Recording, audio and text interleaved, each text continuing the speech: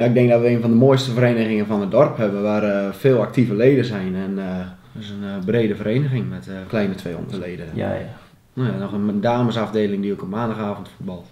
Ik speel zelf, ja, dat is toch de bedoeling dat ik zaterdags toch zelf er ook nog plezier in heb. Okay. Ja, zoals nu trainen ze vier keer in de week, nou dan haak ik twee keer af. Dan vind ik het wel, ja, dan doen mijn benen het niet meer. Ik heb ook de boerderij en dan de kinderen nog.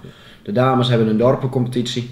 Dus dan worden de dorpen onderling uh, strijden tegen elkaar. En, uh, nou ja, het is inderdaad een trend van de laatste vijf jaar, denk ik dat zou, vijf jaar denk ik dat zal uh, bezig zijn hier. Dus ik denk dat het een beetje andersom is. Van, sinds dat de dames in Wijnjewoude voetballen, dat het landelijke voetbal ook een stapje omhoog gaat.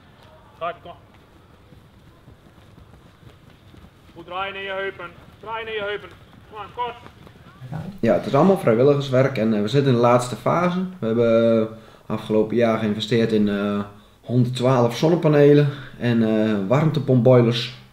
We gaan onze eigen warm water maken door onze eigen opgewekte stroom. We zijn zelf voorzienend op een, paar, op een klein beetje gas. We hebben alles beter geïsoleerd. We hadden een, een goed gebouw uit de jaren 60, 70. Maar dat was ook gebouwd wel volgens de normen van toen. Dus we hebben isolatie aangebracht. En de manier van financieren is wel helemaal bijzonder geweest.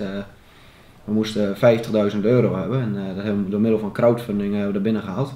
En daar zijn een paar uh, oudere leden zijn ermee bezig geweest en die hebben uh, eh, 500 certificaten van 100 euro weten te verkopen. Dus, maar ja, dan kan je toch ook echt zien dat het echt leeft in uh, Nou ja, ik denk dat echt 70, 70%, 80% dat het echt in het dorp is gebleven. En ja, enkele stichtingen uit het dorp die hebben al hebben redelijk wat gekocht. En gewoon personen zelf die denken van hey, ik vind ik draag ODV een warm hart toe, dus uh, ik koop ook een aantal ja. certificaten.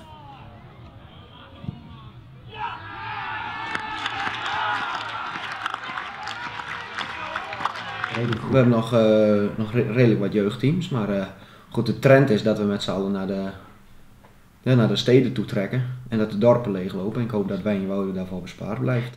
Okay. Met z'n allen bouwen naar een mooie vereniging, dat is eigenlijk waar we voor staan als bestuur.